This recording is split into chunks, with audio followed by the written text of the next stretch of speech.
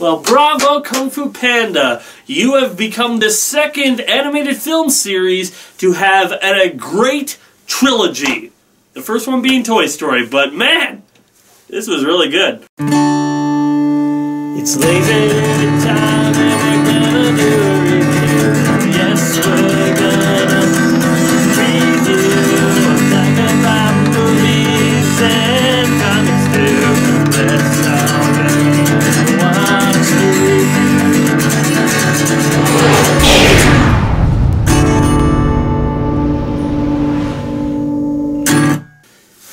everybody, I'm LazerDude99. Don't mind the background, I'm just trying this out. I'm working with some effects. This might not be the way I continue to do things going forward, but I'm just testing things out. So, uh, so this is my review of Kung Fu Panda 3, whew, starring Jack Black, Angelina Jolie, Dustin Hoffman, J.K. Simmons, Seth Rogen, uh, who am I? Jackie, Jackie Chan, Lucy Liu. Boy, they just cram everybody into this franchise, don't they?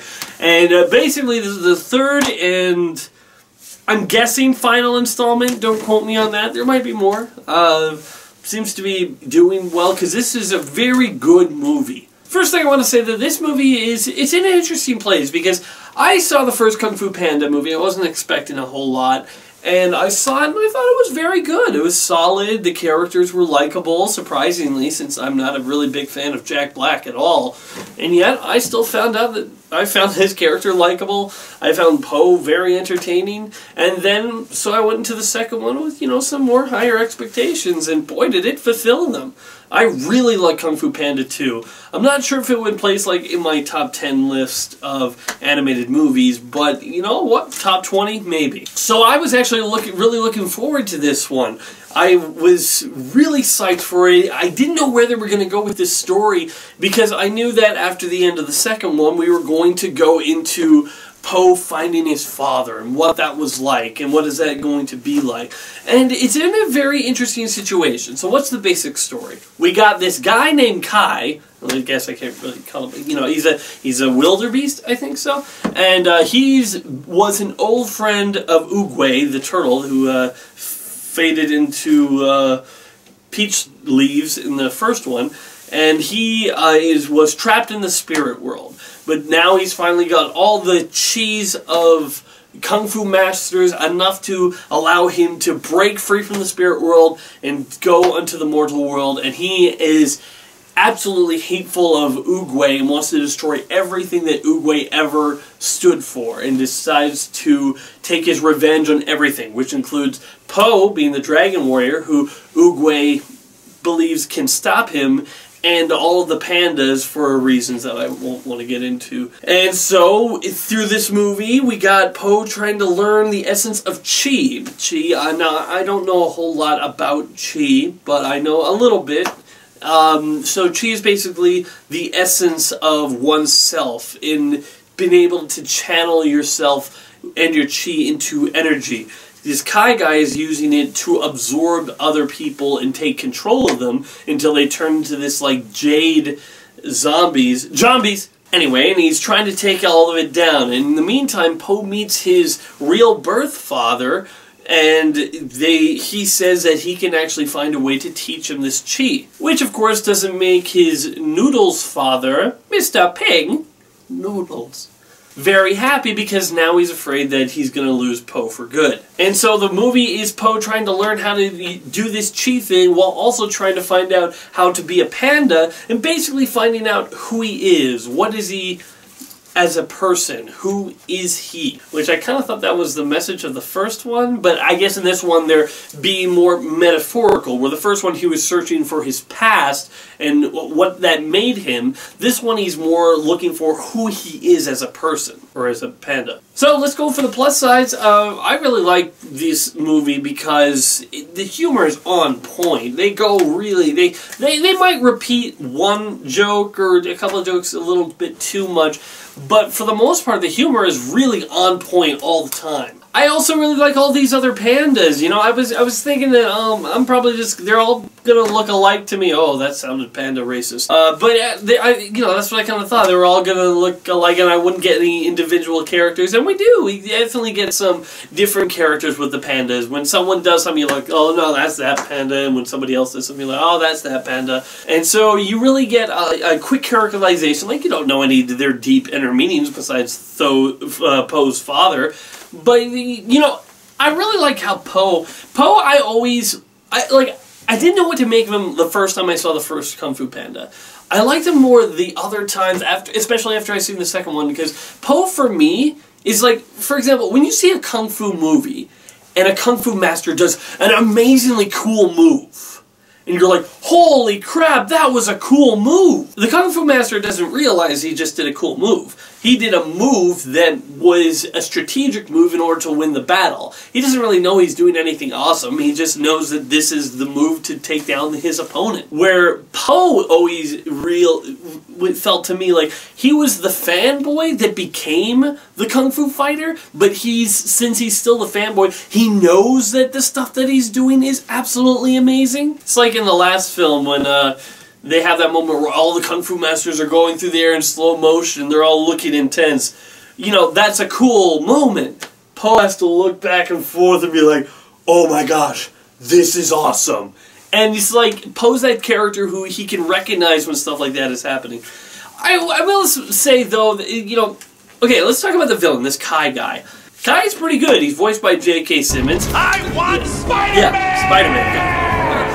He's a lot of fun. I like villains who can bring some humor as well as the menace, and he definitely has that down. Out of the three villains of the Kung Fu Panda series, I'd say that he's better than the one in the first one, who I can't remember his name, which is a good sign. But I wouldn't say he's better than Lord Shen in the second one. I think, but I think mostly the reason is Lord Shen had some uh, more of a weight to his character as a villain because he had more of a, a, threatening and you felt like he could accomplish the goals that he wanted to set out.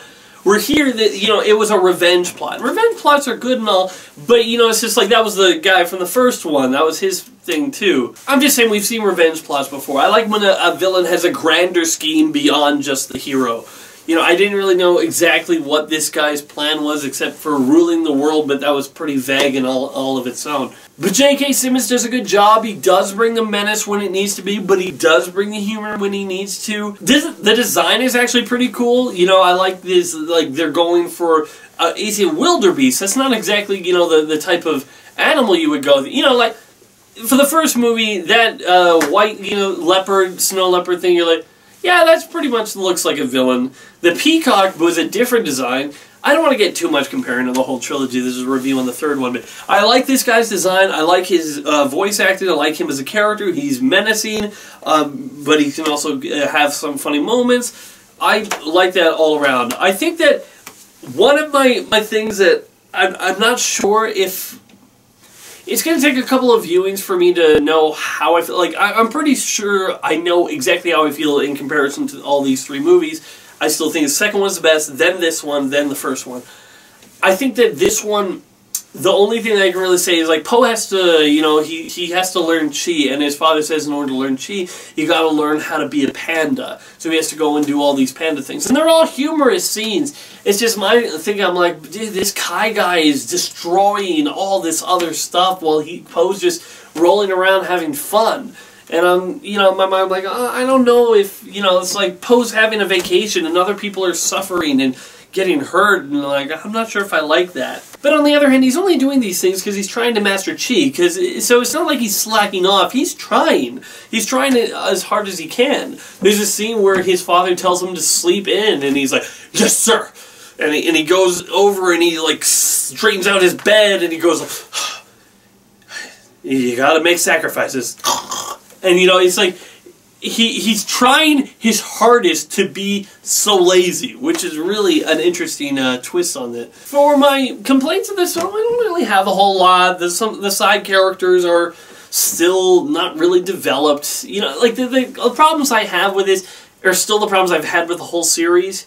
You know, like all, all the rest of the Furious Five, with the exception of Tigress, is not really that developed they might have given Monkey more lines in this one, but they probably gave Lucy Liu character the snake less. I think that they could have developed a little bit more of the side characters. This still seems to be this series' greatest weakness is it doesn't really know how to develop its side characters and oh well, that's that's just the way it is. Besides that, I really don't have a whole lot of problems with. I do wish though that they, you know, they talk about what happened to Po's mother and everything. I do wish Pro brought up that you guys don't need to hide anymore. I've, I, you know, I, I dealt with the person who was hunting pandas. You know, he's not around anymore. He doesn't need to hunt you you know, they're still hiding in the mountains, and I'm thinking, well, I don't know. Do, do they, uh, do they, are they still hiding at the end of this? I guess not. But, you know, I really wish they, like, they, they said that, you know, the Po would really just put his father's mind at ease. There are some scenes that I think drag on a little bit too long. There's this one scene in the beginning, while having a lot of humorous moments, it has a lot of, you know, it's just like, I'm like, okay, I get the joke, just wrap it up, please uh, because we know what's going to happen. Just you know, let's get us, let's get us there. In the end, Kung Fu Panda 3 is very fun. It's very energetic. Kids will love it. And you know what? It still is in this mode where it's respectful to the culture. It still is exceedingly entertaining. The fight scenes are fun. And you know what? It's it's not afraid to maybe darken it up at times when the story needs it. It's a very good movie, and as I said in the beginning, I think this makes Kung Fu Panda 2 the second animated movie series to have all good trilogy, all, all good movies in its trilogy. You might say a few, but uh, as far as my concern and what I've viewed, and I'm talking about movies that have been to theaters, you know, like, for example, Aladdin has three movies, but only one of them was in theaters so, you know, that doesn't really count. Besides, most straight-to-DVD movies suck anyway. So, yeah, Kung Fu Panda, thumbs up all the way. I think it's a very solid movie. It's not, like, overly special, because I, the movie still basically went more or less where I thought it was going to go, but it was still fun on the journey to get there. I would say it's a very good movie. So, I'm giving Kung Fu Panda 3 a 7 out of 10. Good movie, very entertaining. Bring the kids, bring your brother and sister, whatever. If you've seen the other movies and you like them, then I think that you're going to enjoy this one. If you don't like the other movies, let's say if you watch some of the other Kung Fu Panda, you're like, eh, not a fan, just doesn't speak to me. Then I'm not gonna say that this is a must see that you that this gonna it's gonna turn you or something. If you haven't been turned yet, you're not going to be and I just feel like overall it's still a very entertaining flick. So thanks for watching, everybody. Remember, I'm LazerDude99, and uh, yeah, to see you later. Bye. Be sure to check out more of my other videos on my channel, and wait for more coming soon.